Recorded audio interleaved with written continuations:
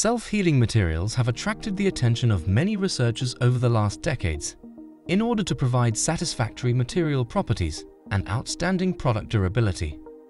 Self-healing has great potential to extend the service life of a material, and this capability has been regarded as an important strategy when designing a sustainable infrastructure.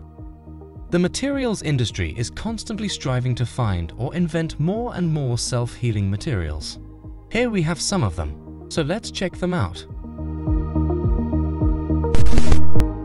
For the first time in the world, a Japanese university research team overturned this common knowledge with their development and research of this magical glass. Researchers fabricated this self-healing glass from a new translucent material, polyether thiourea. It can return to its original state by simply pressing the cross-section together, even if broken. This feature can be reproduced many times at room temperature, regaining the same strength as before breaking. Polymer chains are large molecular shapes consisting of numerous atoms connected in chains.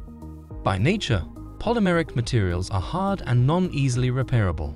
But polyether thiourea has a structure that allows cracked surfaces to be easily reattached by simply pressing them against each other.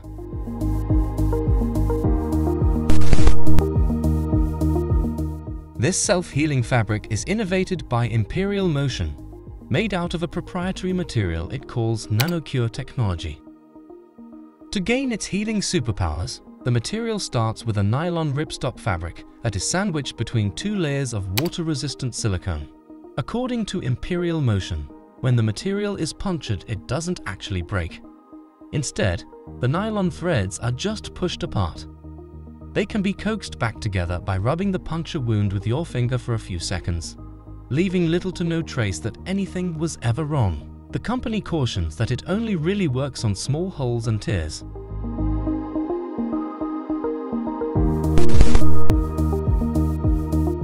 Scientists at the University of Reading have led development of a new material that can repair itself at body temperature. The new polymer material opens the door to new self-healing wound dressings for use in medicine. While self-healing plastics have been developed before, the new material is remarkable because it is safe to humans and works at temperatures as low as 37 degrees Celsius, making it ideal for use in healthcare. The new material, a supramolecular polyurethane, flows like a liquid when cut or scraped, filling in the damage in a couple of hours before its molecules bind together to become solid again.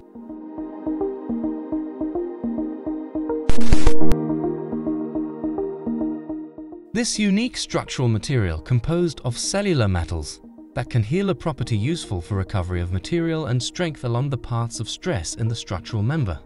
This healing cellular metal is a new structural material that can continuously self-repair cracks and redistributes cellular materials within itself at room temperature. The healing and reinforcing properties are enabled by a cellular metal infiltrated with an electrolyte. Upon applying a voltage to the metal, Additional metal is electroplated to heal or strengthen the desired area. The target area and healing capability can be controlled using a tunable insulating coating on the conductive metal.